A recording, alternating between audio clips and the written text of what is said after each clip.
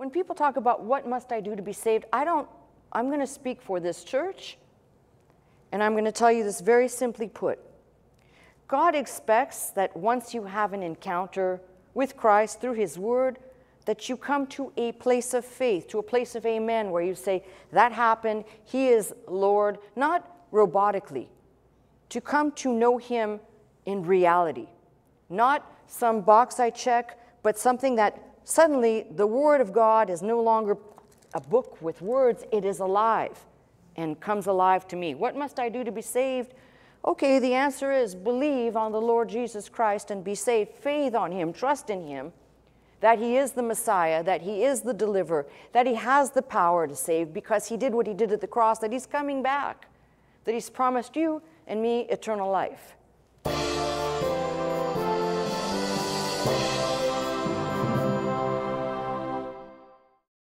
Now, many years ago, I delivered a message about the musts of Christ, the use of the Lord's words one must, he must, all right? Um, it's quite a significant word in the Greek, the word dei, and I've got my theological dictionary of the New Testament in front of me, um, Eerdmans, and they're in so many volumes, so I mentioned it, all right?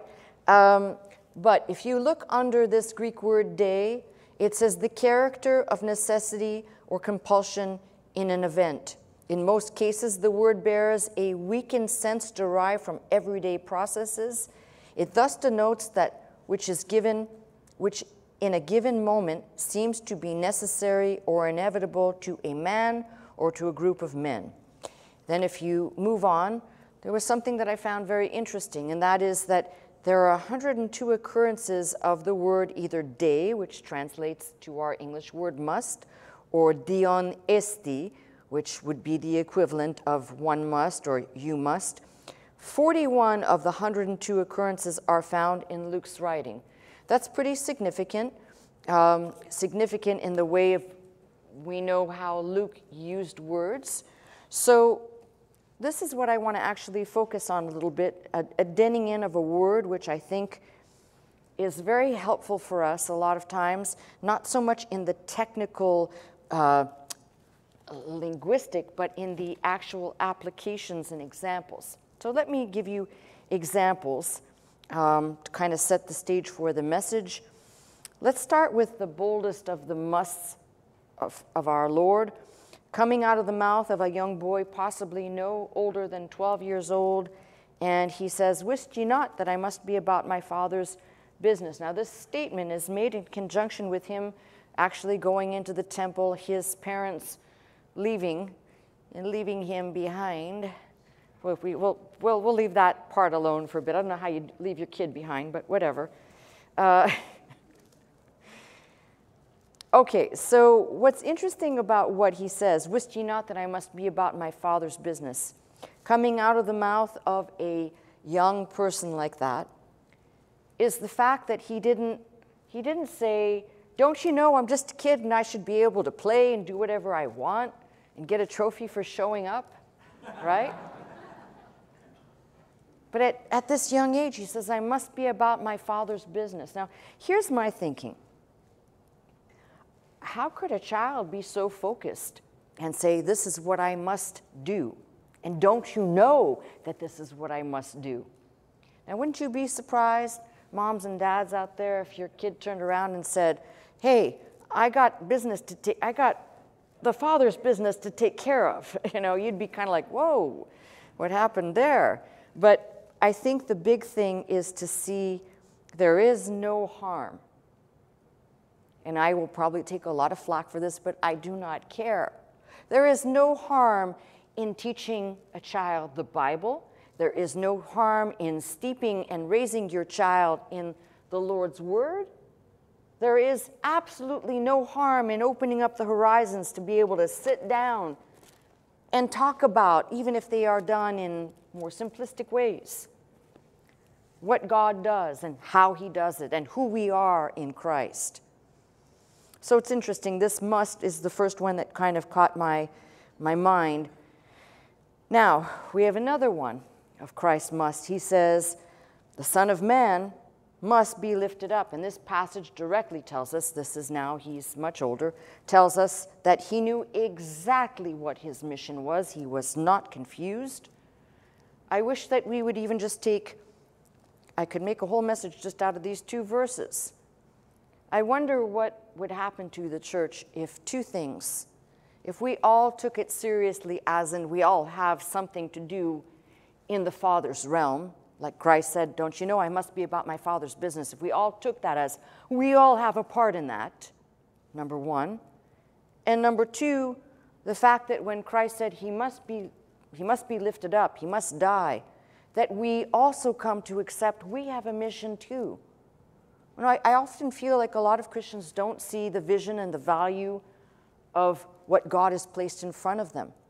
And that mission and that value, if you will, is not just so that you can be infused and imbued with information, but you also become a beacon of light for other people. And I've said this before I am not a proselytizer. I don't like people coming up to me and talking to me about, you know, do you know God? Do you know who God is?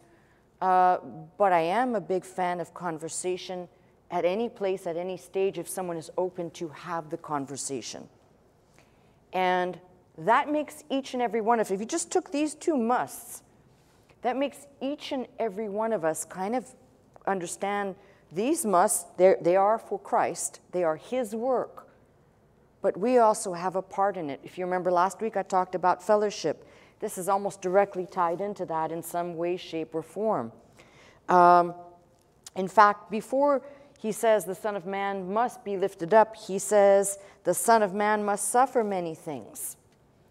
Now, who walks around telling other people this must, out of necessity, according to this dictionary, this must come to pass. This I must. Can you imagine walking around town saying, Yeah, I got to suffer. I must suffer. You'd have people looking at you going, Yeah, okay, all right. But if you understand in the context of what he was saying that this is inevitable, it must happen. And I think, like I said, just looking at these, it actually kind of could make you see how we are kind of, we'll say, a little bit more lax when it comes to kind of digging in, seeing what his musts were. Now, he also gave musts to us, which I will get to later on in the message. Um, but back to when he said the Son of Man must suffer many things, this is, was in direct connection to him saying, the temple must be destroyed. He made all these statements. And what I love about this is it's not just this is what must happen. You read the book and you realize that is exactly what happened. So his musts that he declared were, we'll call them of necessity. Not must as in a mandate that may or may not, but must as in there is no way, shape, or form that this is not going to happen. So you get that emphasis, I think, is pretty important. Now, why did it become a must? This is self evident for Christ to go to the cross. Why not? We could have just said, you know, whatever happens, happens, but there was something else said. You remember repeatedly, the scripture must needs be fulfilled. I want you to think about that. That's another one of those mind boggling things that what was written aforetime must come to pass. Now imagine making these statements. We wouldn't be standing here, we wouldn't be sitting here if the statements didn't come to pass. That's, that's the obvious one. Somebody says, This must happen, this inevitably must happen, and it doesn't come to pass. Christ said he must die, he must suffer many things, he must die. Don't you know I must be about my Father's business? These are the things I came to do. The scripture must needs be fulfilled. And then nothing happens. This is why when people argue about the veracity of Christianity and Christ, I have to say this is where faith actually kicks in. You either read this book with confidence that the writers were chronicling to leave us the information that we process, that we take in, that we must somehow uh, come to the faith in, or not.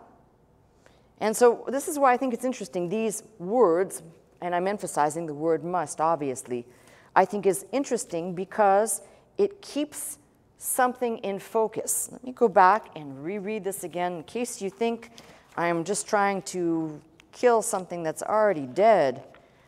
The, the emphasis on the word character of necessity or compulsion in an event, and in most cases, moments that seem to be necessary or inevitable to man or to a group of men. Inevitable. This must happen. So, this is why I stand here, because I've come to the place. You read this and you kind of go, it, it happened. There's no question that it happened. So, if you take all of this information, if it didn't happen, we're just a bunch of fools gathered talking about imaginary stuff, but it happened.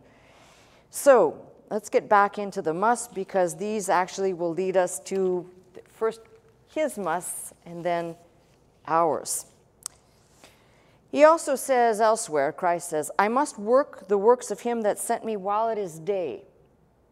And that brings me to an interesting must for, even though this is a must for him, I want to actually make this a little license because there are some things we can apply to us.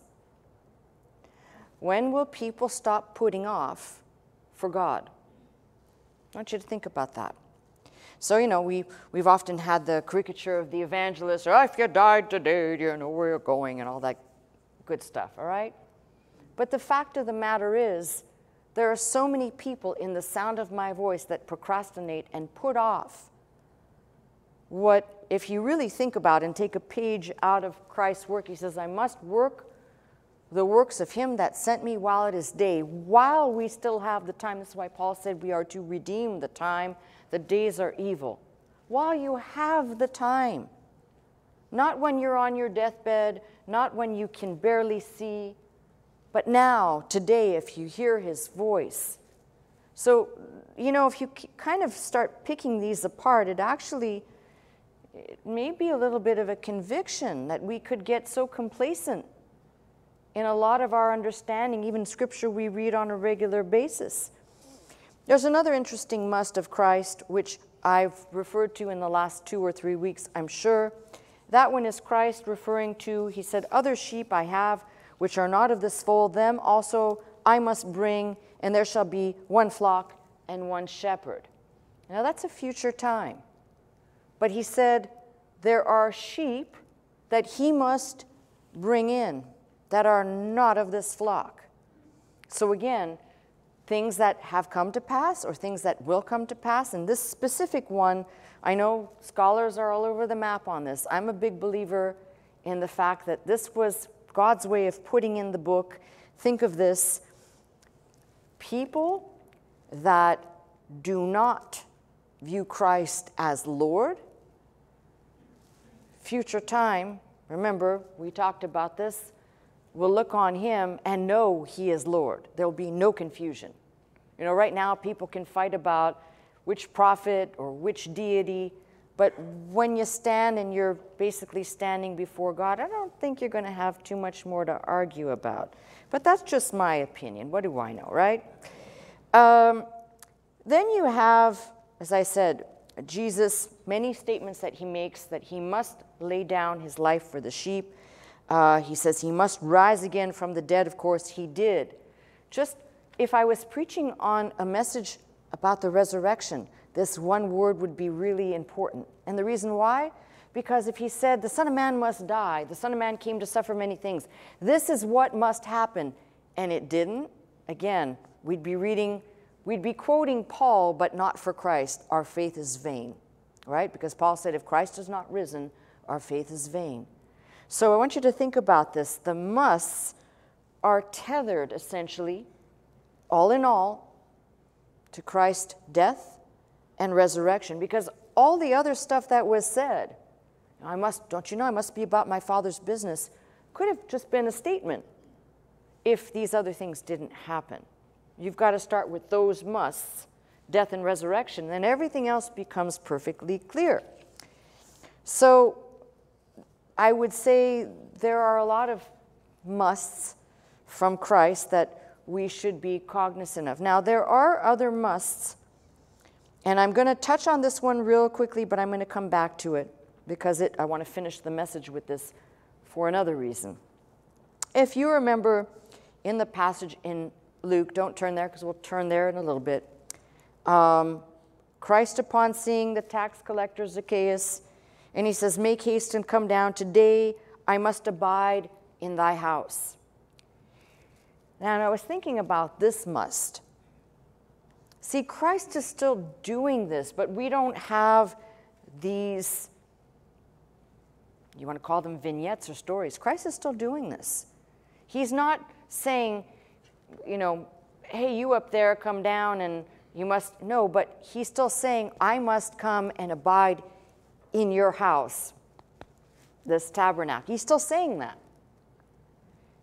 And that's what's important when you read this to recognize that these musts are still in force, they're still applicable, they are still powerfully moving if we are really analyzing them aright. And of course, I, as I said, we'll come back to this, but Zacchaeus was going to be saved. We have that crystal clear in that passage. And I always think it's thrilling because something about that man who we know had to be ripping people off, he's a tax collector, come on. And Jesus focuses on him, calls his name, says, I must abide with you. And that tells me that, you know, again, when people say, well, how, how does salvation occur? How do these things happen? What is the process? Let's read that. God finds you right where you are. Now, granted, Zacchaeus was curious and he went to look, he wanted to see about this Jesus. But when Jesus said, I must abide essentially in his house, it wasn't as though how many houses were around Jesus he could have taken up anywhere. But it was that one that he wanted. Again, I'm going to come back to this because this is the picture I want people to really understand. I'm tired of the whole idea somehow that we, we play, we have a facade. If this isn't where the rubber meets the road, and if this isn't helping you to live out your life as a Christian, then, as I said, maybe Christianity isn't for you. And you might say, how, how could a pastor say that? I, I did, I just did. You want me to say it again? I mean what I say, and I say what I mean. So, the reason why this is important, as simple as it is, is you can understand he had a focus and he repeated his focus. I must. And you, when you start looking at all of the must that he declared for himself, that he must do in his brief ministry on earth, and then what he must do be raised up, obviously reappeared, and then ascended, and will return. But this is all part of these musts. And again, for somebody who's just starting, you might say, well, okay, he said all this for him. Yes, and we, we should learn of that, by the way. Remember where I started. If we all took the position, I must be about my Father's business, it doesn't mean that you spend all day in the things of God and the things of the church, but a commitment like that says, I'm serious about God. Now, I'm not suggesting we walk around and say, I must be about my Father's business. They're going to say, okay, yeah. But this is my commitment as a child of God. I'm not just in, I've not just been thrown into some little play universe. God expects something of me. And whether that's my simple faith or whatever else He requires of each and every one of us as He reveals His plan and His will for you in your life, but there are musts that must be applied. So we'll start with the first one. It's the one, and now we're going to talk about us. Not him, but us. So the top of my list, and I've preached this many, many times, but I'm going to talk about this real quickly and move through it. So the first one at the top of my list is Jesus telling Nicodemus, You must be born again. And I love to talk about this, and I cannot talk about this enough. I really want you to think about this. Nicodemus was a religious man, he knew God. He at least knew the God of the Old Testament. Let's put you this way there was no New Testament yet. So it's not as though he was godless. Christ says you must be born again. That translation, strictly word for word from the Greek, you must be born from above. Because the question is well, how can a man, when he's old, go back into his mother's womb? And what Christ was saying there, and I've preached on this many times, you cannot will yourself into the kingdom. You cannot act yourself into the kingdom. You must be born again from above. And I don't care how religious you think you are, if that Spirit of God does not descend and take up residence in you, you are not born from above. And I've said this before. I used to listen to uh, Dr. Scott comment on, I believe it was Jimmy Carter. And he used to say, I believe in the born again experience. No. I believe everyone must be born again. Period. No experience. Period. This is a must and a mandate of God. It is a necessity. When you put it that way, it becomes clear it's not an experience, it's not a choice. You either are receiving your salvation and all the motivation that comes with it that power to change, that power to have faith, that power to understand, the desire to learn from above, or nothing at all, or you're, or you're operating in the flesh, which a lot of people do. They don't understand this passage and they think, okay. So that's number one. So to be clear, for those people who maybe don't think, um, you know, they think how, how spiritual a very religious, self righteous Nicodemus, when in fact Jesus said, No. All that info that you have is info in your brain, but you need something from above. And without that, you ain't going to do any musting, all right? All right. The next one is out of the book of Acts. And there's a statement there that says, We ought to obey God rather than men. And this verse really says we, we must obey God rather than men, if you really read the translation right. So, what does that mean? It means you must be a follower of Christ and a learner of Christ to be a Christian. And when we talk about this, this is actually quite relevant for today. You can decide that you want to be in on the latest trends and you want to identify as a giraffe today, and that's fine.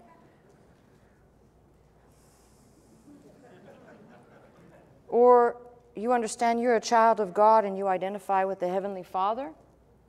And in that identification, I must come to an understanding.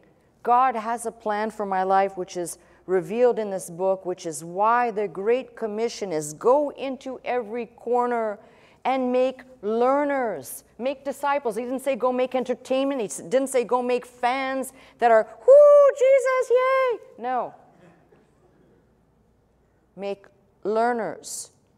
Now, how many of you really, I, am wanting to really hear you on this because I think a lot of people think church is an entertainment center, it's to be taken lightly, it's a game. How many understand that learning actually takes effort and is difficult? You know the worst part of learning is? Learning things you don't want to learn or you're not interested in. Trust me, been there and done that. You don't go through a PhD program without being subjected to having to read stuff that you're like, oh, I would rather watch paint dry than read this stuff, okay? But it's opening up your mind because if you're going to get an education, that's how you get educated. You don't just educate yourself on, I want to become a mechanical engineer, so I only learn about this dimension. No, there are other things that you would want to, secondary or tertiary subjects that will complement and give you a better understanding maybe beyond that even. So when it says we, we must obey God rather than man, even in the current climate of things, really important for people to really get this right. We are not following the multitude and what the multitude does. Now, if you want to do that, that's your business. I'm not interested. I've seen what the multitude is going for, and I'm, I'm, I'm just not there. I don't want it, okay? So but if I'm going to say this right, I'm going to say what the book of Acts says that we must obey God rather than men. We must learn about God. We must understand, process, take it in, and that requires effort. Don't come to a church, this church or any other church, and think, oh, I'm going to learn. Oh, I'm going to learn like it's going to be a great hour long massage, and I'm going to walk out of there and I'm just going to feel like a bag of marshmallows. No. Learning actually is tiring, it's exhausting, it makes your brain hurt. If you're really listening, I've told you this before, your heart rate goes up. You, you do not necessarily break out a sweat, but your body temperature does get hotter. There are different components in your body happening as you really, if you're really listening, versus the people that I'm just talking right now and they're going, wah, wah, wah, wah, wah, wah, wah, right? Or she said, must. Oh, I must go to the grocery store later. That's those, you know, undisciplined, I'm not really here. I'm here, but I'm not really here type people. All right, so I'll move on to the next one because I think I killed that one. The question that is always asked in the Bible what must I do to be saved? And the reason why I'm going down these is I realize with so many new people, there are so many people asking questions and coming in with all kinds of weird ideas. So I just figure, you know what, this is a message that can basically cover a lot of these problems. It's, it's, pretty, it's pretty simple. Um, let me ask you this. What would you do if you were dropped on a desert island? You're all alone. You don't have a Bible. You don't have a Bible teacher.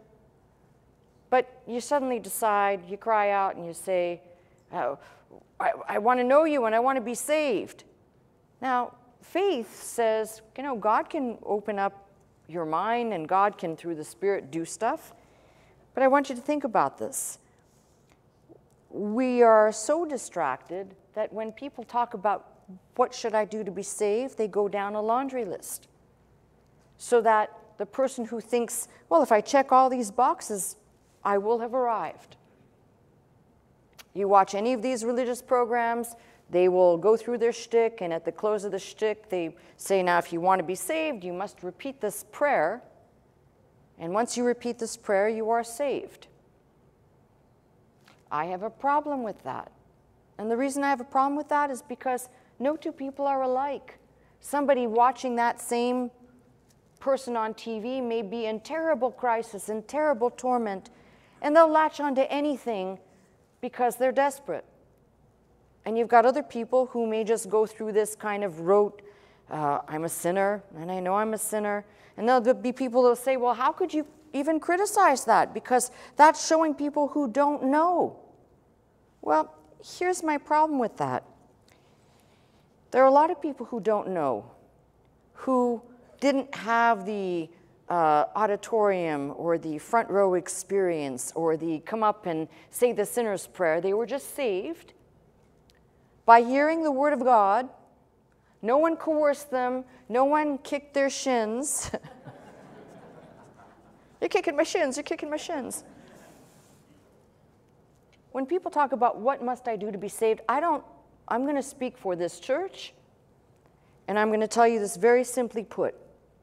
God expects that once you have an encounter with Christ through His Word, that you come to a place of faith, to a place of amen, where you say, That happened, He is Lord, not robotically, to come to know Him in reality, not some box I check, but something that suddenly the Word of God is no longer a book with words, it is alive and comes alive to me. What must I do to be saved?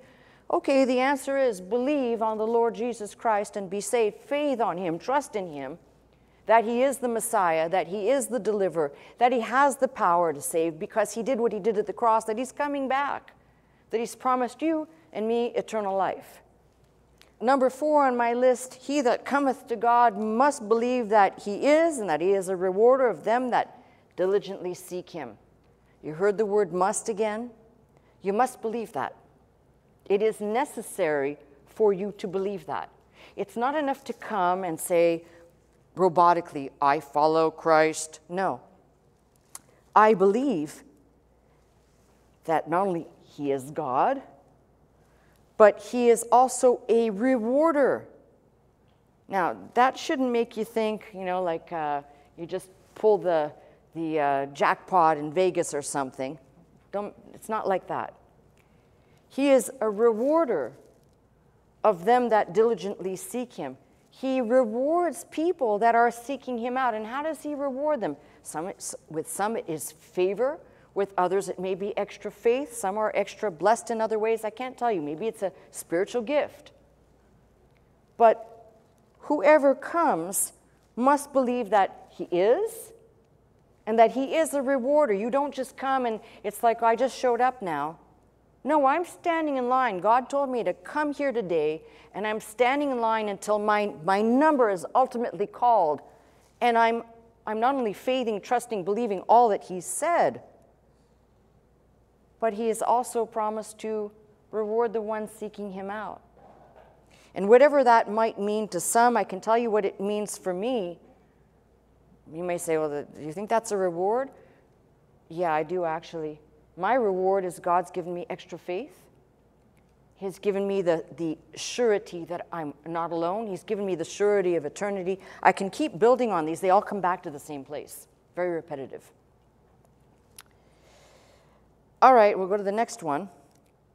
And I think this one is also an important must. He must reign till he hath put all enemies under his feet. This is why it's important for the Church of Jesus Christ right now to get its groove back. He must reign. He must reign. Until what? He hath put all his enemies under his feet. Now we know that that last act is death. The last enemy is death. And if you really want to think about it, it's not just death, it's also, if you read the last book or the last book of the Bible, Revelation, you've got the devil, but for the Christian, think of it this way what are people talking about when somebody who is not familiar with the book, somebody dies and it goes into a depression, it goes into what's what was, and there's no there's no hope, there's no future. So the last enemy being laid down, I love this one because it says very clearly the enemies of the children of God, and specifically the last enemy, death, is vanquished. Now, if this doesn't make you realize that all this other fretting stuff over here wasn't worth too much, because he says this, this must happen. And this is why the Church of Jesus Christ, no matter what's going on in the world, he still must reign. There still must be a voice leading people and guiding people, not entertaining all of this woke garbage and all of this stupidity of the world, but rather focus on our Lord and Savior, focus on what He said, focus on what He said must happen. And guess what? You're going to find something really incredible when you realize, you know, sorry to say this, uh, there are predictions from AI about when World War III will start. It's kind of very interesting. If you look these things up, it's kind of like, oh, okay, that's, that's interesting. And somebody said, well, don't, don't you care? Well, in the moment when I think about it, I want to do all that I can for the kingdom. But if somebody's going to launch a bomb that's going to blow up the world, and not too much you can do about it, right? Except for the Christian, because you understand God's promises are. Now, everybody must make the trip. I've said this before. But he says that the last enemy, death, is vanquished. That means for the believer, no matter what happens, we will be with him. So I like reading these musts. They are not only informative, but they enforce something about our faith where it becomes clear. You, if you are worried about all this stuff to the point of having a meltdown, your focus is in the wrong place. Remember, I taught out of Psalms 42 and 43 when people are depressed and down.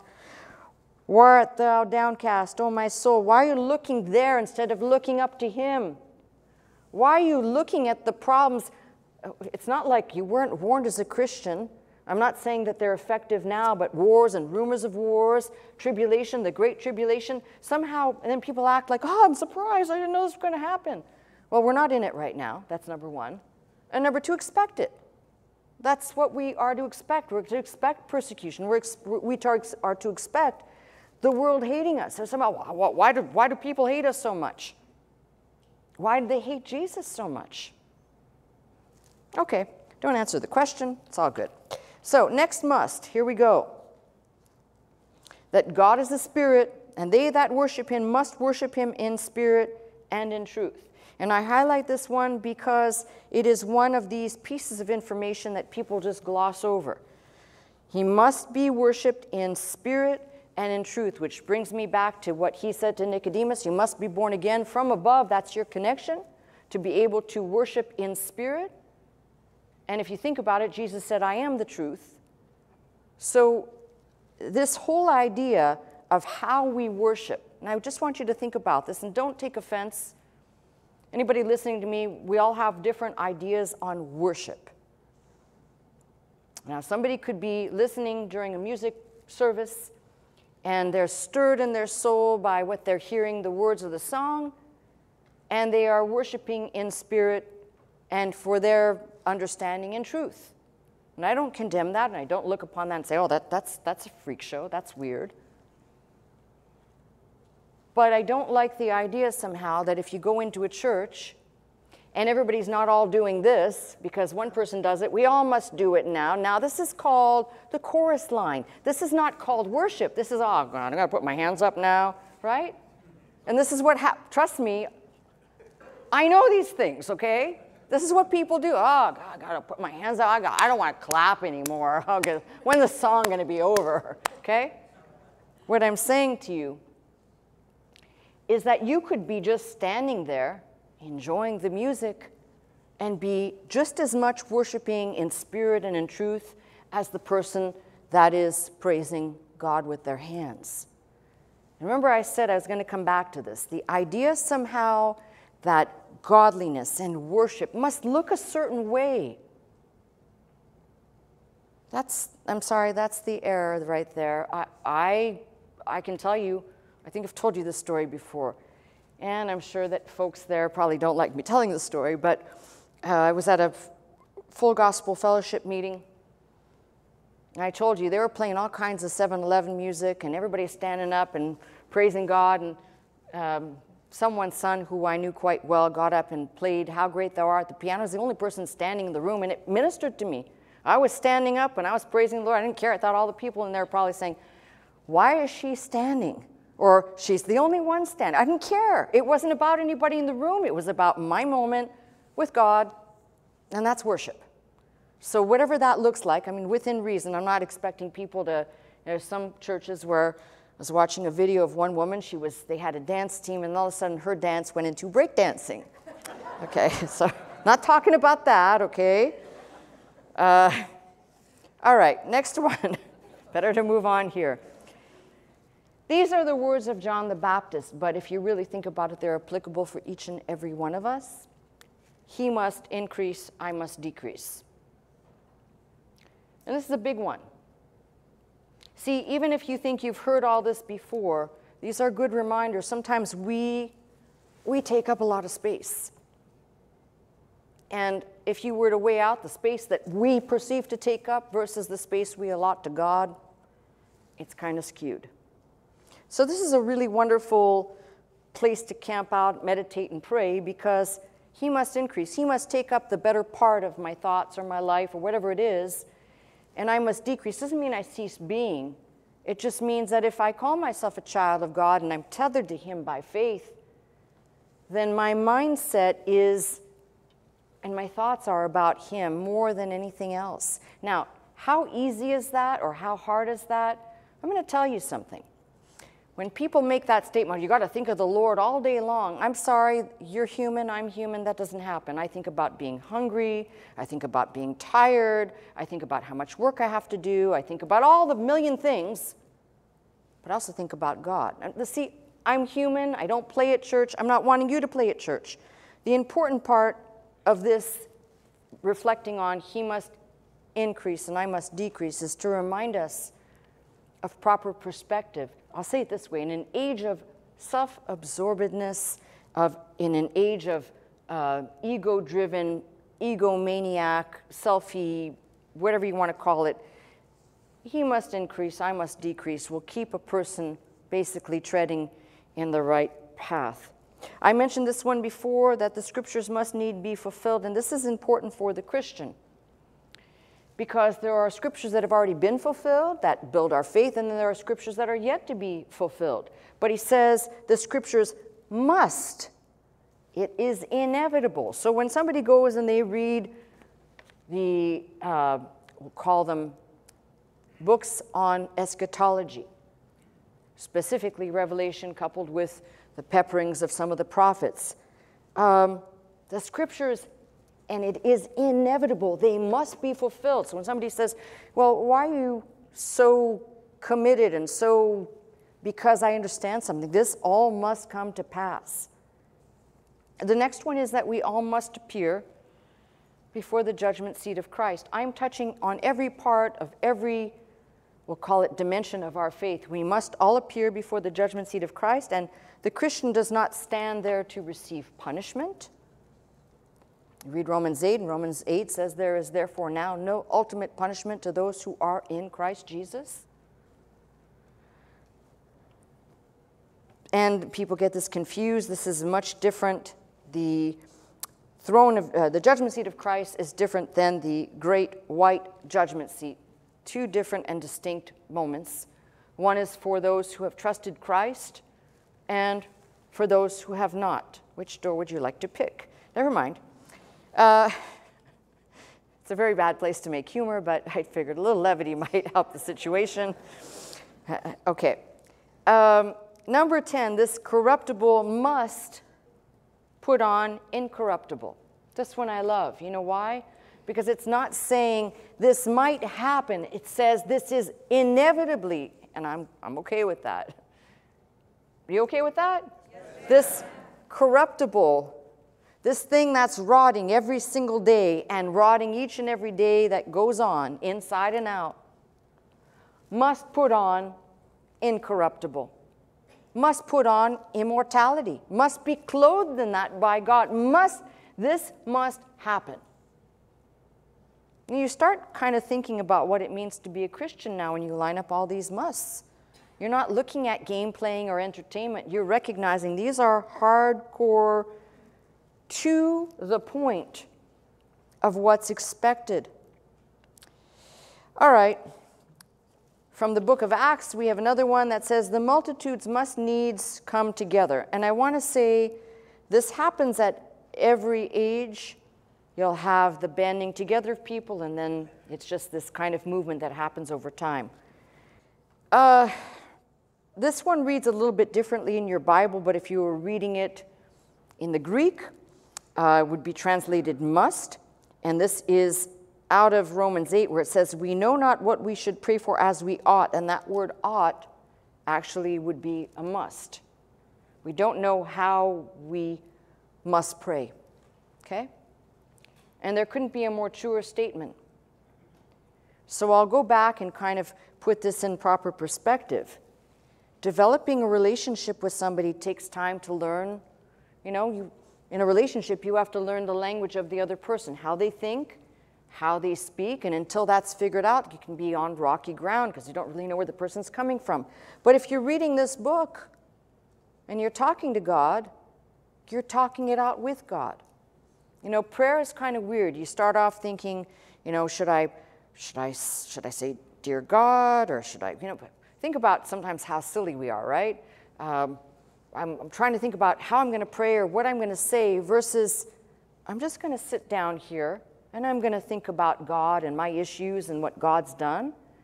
And as soon as I kind of feel that everything's congealed together, I'm going to start talking to God. And I don't, can't tell you that it's, it's something that's planned out. Sometimes I start talking and something else comes out of my mouth.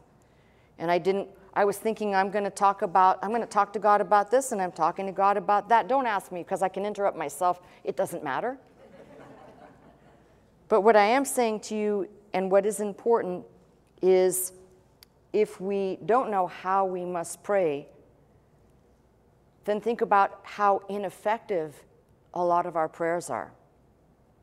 Now, I'm not saying that there's a method to prayer, like, you know, step one, you do this, and step two. What I'm saying, though, is in sincerity and genuineness. When you relate to somebody, when you're having a relation with somebody, you talk to them.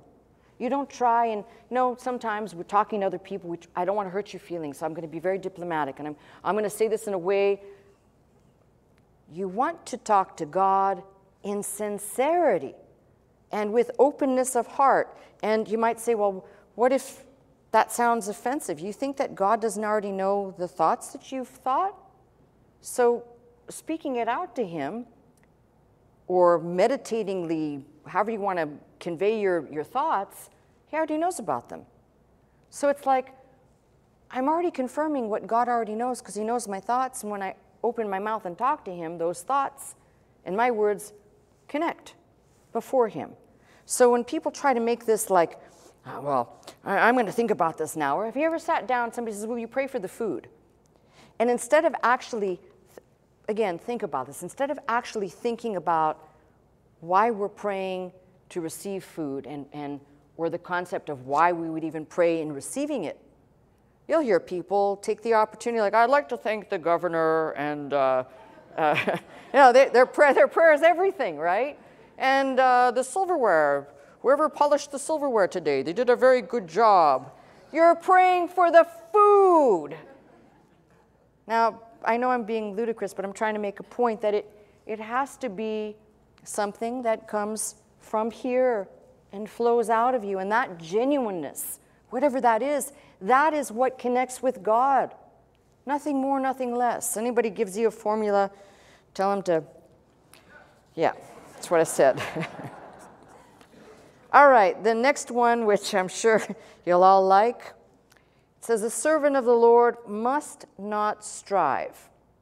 That is a Greek word, maketheste, or maktheste, to fight. That doesn't mean that a pastor is milquetoast or wimpish, but one who is able to discern between righteous indignation and blatant we'll call it, you know, you can distinguish between these things. Someone who's angry because something has been done against God or the church or God's people versus something that affects me personally.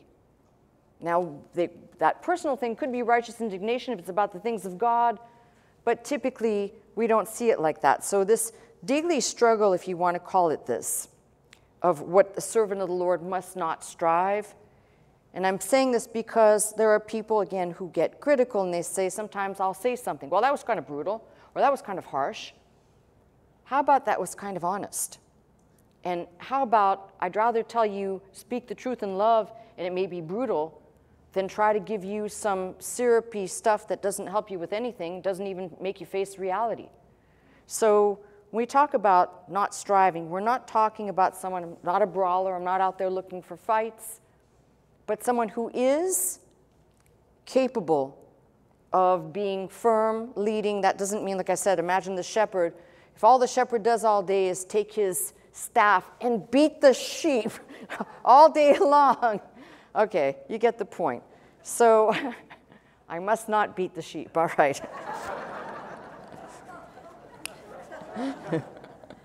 all right, uh, I'm almost done here. For the believer, I will, or I ought, or I must. You, you're getting the gist of this now. So, what the revelation given to John in that book, it says that the scripture related to what John wrote must shortly come to pass.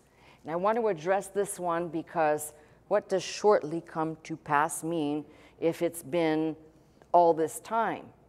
Now, and I want to answer this because I think there are a lot of people that say, well, you know, you talk about a lot of stuff, and all the stuff you talk about that's past and present I can deal with, but the future stuff, how do we know it's even going to happen because it's been so long? Well, again, this is the thing. The Lord talks about a day is a thousand years, or a day is a thousand years, people start to go with, well, what is, how does that translate, and how should we think about time? The scripture says that all the things written must shortly come to pass could mean another thousand years have to happen. It could mean that there are events, not could mean, it does mean that there are events that must happen that are actually prophetically revealed in some of the prophets, that tell us when these events start to happen, other events will start to happen, which will cascade into the final events. So when it says these things must come to pass, or shortly come to pass, if somebody's reading that and saying, well, but all this time has passed, yes, but in between, many, we'll call them things that must happen, have happened. And there, are, there is an order in God's book. So what happens, let's just say, in the middle of the week or in the middle of the tribulation, there are events leading up to that before that must take place that if those don't happen, these other events can't happen. So think of it this way for people who say, well, I'm still not convinced because all this time has elapsed. If you are so inclined to, you do yourself a really good service to read about, especially out of Daniel and some of those other books that talk about prophecies of kingdoms that didn't yet exist in Daniel's time, for example, that were future that came to pass. And then you start recognizing that this whole book has enough, we'll call them markers, street signs, neon signs, to tell us these are events that have unfolded, these are yet to happen, and when this happens, trust me, you'll know it. So when he says that the scripture must shortly come to pass, I don't want anybody in the sound of my voice thinking, well, because it hasn't happened, it won't happen. No, these events will unfortunately happen on earth, ushering in, as I've talked about in the last week or two, the millennial kingdom, obviously, for some of us who actually believe in this, I think it is super important to understand when it says this must pass, it must come to pass. That means it will. And this is why when people don't take their commitments and their faith and their learning about God in the now seriously, how do you expect to take it seriously when we don't even really know the timeline of things to come? You start now. That's all I can tell you. You start now. So here's what we've learned in all of these. There were musts that Christ spoke of himself. And if you go back and reread those musts, he fulfilled them. He fulfilled every single one of these musts where he says, This is what I must be about my Father's business. I must suffer. Son of Man must be lifted up. Everything that he said came to pass. Now, the things that were said in direction to us what must be, how we must be born again, how we must be saved. I want you to think of all this because the reality is when you take all of this information in, you realize there's a lot more there's a lot more substance in analyzing these words, what must happen. And I said I would take you to uh, the passage in Luke 19 to close out, and that's what we're going to do because I do want to show you something here. It's a passage we've read before, Luke 19, the conversion of Zacchaeus, but I want you to look at this as we bring this message to a close for a purpose. And here is the purpose. As you know, Jesus entered and passed through Jericho. Behold, there was a man named Zacchaeus, which was the chief among the publicans, and he was rich. And he sought to see Jesus, who he was, and could not for the press, the crowd, and because he was a man of little stature, he was short. And he ran before, climbed up into a sycamore tree to see him, for he was to pass that way. And Jesus came to the place.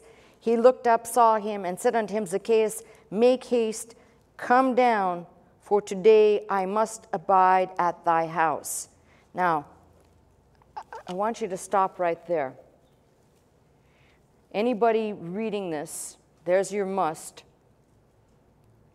He wasn't saying it like, hey, I got to come in because I got to use your bathroom or I need a cup of coffee. I must abide at thy house was Christ's way of saying, I must, forgive me, it's a really weird way to explain this. Like the Spirit coming into a person, I must come and live in your, in this abode. And the only way that could happen, because the Spirit was not yet given, was for Christ Whatever was said inside that house, whatever was done inside that house, who knows? Except when everything was said and done, Zacchaeus stood and said unto the Lord, Behold, Lord, the half of my goods I give to the poor, and if I have taken anything from any man by false accusation, I restore him fourfold. And Jesus said unto him, This day is salvation come to this house, for as much as he also is a son of Abraham. Son of Man is come to seek and to save that which was lost. I want the takeaway for this to be it is a must for Christ to take up residence in a person. This is why you must be born from above. But I also want you to take a look at something. If you looked at Zacchaeus standing or hanging in the tree, you'd say, That's not godliness. That's not a picture of godliness. Well, because all you see is a man who's collected taxes, who's rich, who's probably hated by people, and probably had a hateful appearance even. But godliness looks like this that same man that said, Behold, Lord, the half of my goods I give to the poor. If I've taken anything from any man by false accusation, I restore him fourfold. That's what godliness looks like. Don't make the mistake of succumbing to the stupidity of the vast majority of people who think somehow this is what spirituality looks like and anything else is not. Don't make the mistake of thinking that a, mes- a message like this, in its simplicity, cannot show you the bullet points. We'll call them the, the, the mandatory sign points of the Christian. This is not law, this is not some mandate by God, but if you're going to be a Christian, you be one, which means you read the words and you understand at some point. I hate to say this, but something has to happen with the words. You can take the words in, you can masticate them, and then you can forget about them, you can reflect on them, you can pray about it. Or you can ask yourself, how, what, what does this mean for me? That's the starting point, in my opinion, is asking, how does this apply to me?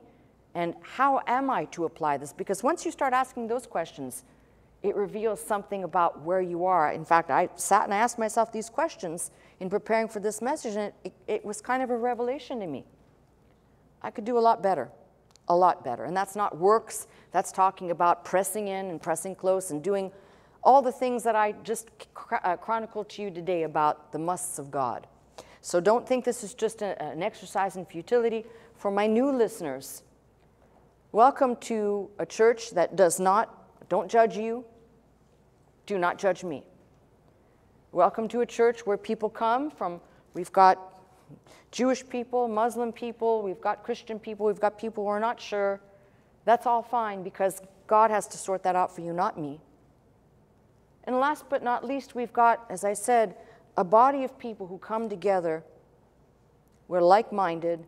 And these reinforcements for those who have been here for a long time are good because they show us sometimes I might be getting a little bit complacent here. I need to step up my game or step up my faith, however you choose to say that. So I hope that this is a message that people will listen to again.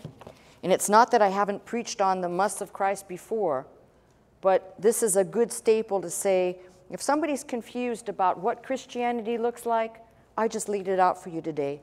These are the words of Christ or the words of Paul or any other writer of the New Testament telling us what is important, why it matters, and as I said, just a little bit of reflecting on these musts can carry a big weight on our understanding of where we're at. It's called a spiritual inventory.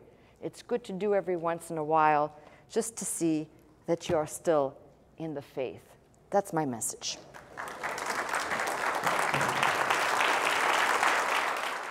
You've been watching me, Pastor Melissa Scott, live from Glendale, California at Faith Center.